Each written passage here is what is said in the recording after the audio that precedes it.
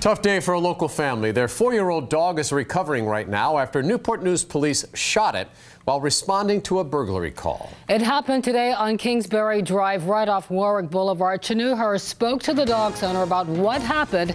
It's an interview you'll see only on 13 News Now. Police say when they got to the home here on this street, they told the woman inside of the house to secure the dog, but her husband says before she was able to do that, the dog lunged out of the front door and bit the officer on the arm. What started out as a police response to a burglary call ended with Matthew Rogers' dog, Brock, shot. In a situation like that, of course, it's very upsetting as far as him getting shot. One of the two officers shot Brock after he bit the other.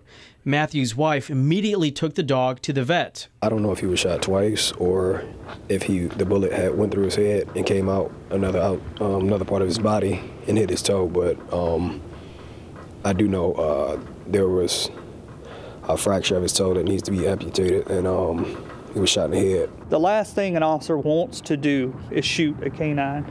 Um, you know, do anything else besides that. But if it resorts to that, unfortunately, that's something we may have to do. The officer who was bitten only had minor injuries. Brock's condition, however, is still up in the air, which is hard for Matthew and his wife to handle because their other dog just died earlier this month. These incidents, this is just horrible. You know, these, like I said, these dogs are like our kids, so I don't know. Despite the tough situation this family is facing right now, they're not pointing fingers at anyone, just wrestling with how things played out. Things happen the way that they happen, we can't change it. So, like I said, the only thing we can do is just pray for the best. And like I said, the officer did his job. I'm not upset at him. I'm, you know, hopefully he's okay. In Newport News, Chenue Her, 13 News Now.